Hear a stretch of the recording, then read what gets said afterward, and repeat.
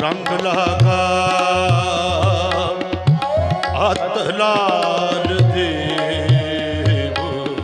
ਹੋਲੀ ਕੀਨੀ ਸੰਤ ਸੇਵ ਰੰਗ ਲਾਗਾ ਅਤ ਲਾਲ ਦੇਵ